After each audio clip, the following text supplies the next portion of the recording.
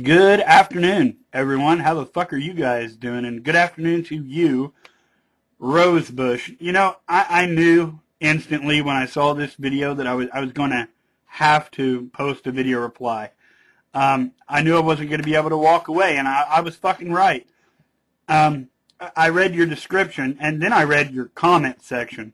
How fucking disappointing that experience was for me.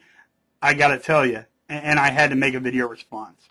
Uh, for those of you who don't know, please go watch it there or there, wherever the fuck, and then come back and watch this video by all means. Now, Rosebush, you start your video by saying, you know, by asking the audience, what would you think uh, of a group of people who went to a Star Trek convention only to make fun uh, of the Star Trek fans that were attending said convention, right?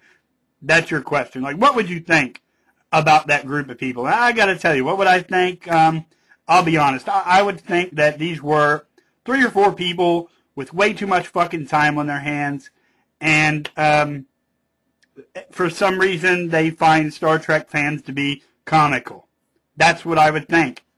Now, I might say something like, well, that's time wasting and immature. So, so the fuck what? I, I got to tell you, all that being said, I certainly wouldn't be offended by what they did. I, I certainly wouldn't be um, appalled or standing in awe of how inconsiderate they were to the to the poor people who were attending the Star Trek convention that were only there to have a good time. They didn't come to get laughed at. Tough shit. Some people think your um, Star Trek fanaticism or whatever the fuck is funny. That's life. That's the world you live in. Tough shit, right? Right. And I don't think, Rosebush, that you can look on YouTube and find a video like the one I'm responding to, like the one you made, where there's a guy making a video like yours going, I can't believe how those Star Trek fans were being treated. You won't find that video. You know why? Because nobody gives a fuck. Nobody thinks that simply by default of being a Star Trek fan and going to a convention, you deserve not to be made fun of. Nobody thinks that. You know why? Because nobody was brought up their entire fucking life to believe that all Star Trek fans deserve respect. And when you go to their conventions, you make the Star Trek symbol and you hallelujah and you sprinkle water on each other. Nobody was brought up to believe that, so that's why nobody gives a fuck about Star Trek fans. On the other hand, you have these four atheists on YouTube who go into a church. Whoa, now we're on sensitive ground, right? Now, now some of that guilt is coming back. Because remember, a church is a sacred place, right?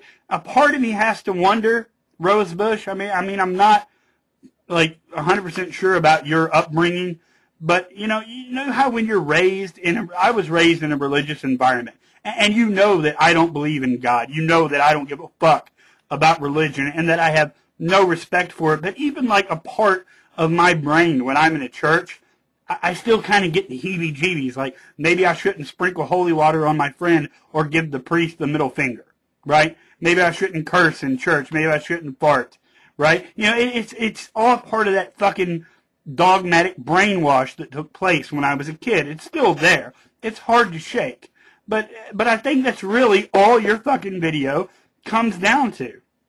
You have like you still have like this little spark of guilt that these people somehow deserve respect because they're at their church. What harm did these atheists, these people on YouTube do when they went to that church? They cracked a few jokes. They, they stole a communion wafer that some asshole was going to eat anyway, and they snickered. Sure, it was immature, and no, it wasn't productive, but not every fucking thing I do is productive.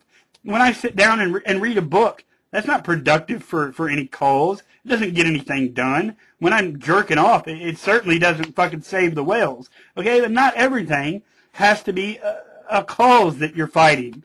You know, and, and, and no, no. Simply because these people are at church, that, that doesn't entitle them to any more respect than a Star Trek fan. Fortunately, we're living in a fucking world where people are starting to see these religious practices for what they are.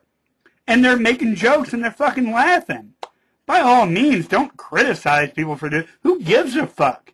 I mean, what did these people do to earn like some sort of fucking noble respect other than freak you out and make you think that their church is somehow sacred and that no, you can't be making any jokes when you're at church? I think it's bullshit with with all the other with all the fucking money that goes into building that church. How much fucking money do you think it costs to build the church they were in? How much money you think they spend on the fancy fucking robes and the incense and the communion wafers and the goddamn sacramental wine that could, you know, they could be like fucking feeding starving people and shit. I mean, don't even get me started with all the fucking problems that they actually cause you're you're really going to make this video criticizing a, a, small group of atheists that walked into one of these fucking million dollar churches and, and snickered a few times? Honestly, dude, I got to tell you, I don't give a fuck. I don't give a fuck. These people aren't, you know, deserving of respect. Their religion doesn't deserve respect just because they think it does. And I think that I think it's really reckless and dangerous to help to perpetuate the idea that, yeah, they're on their turf, so we should treat them with a little fucking respect and not laugh at their stupid bullshit. Sorry, dude, but I can't get on board with you. I respect you, Rosebush, but think about it. What they did was fucking harmless in the long run, alright? Peace.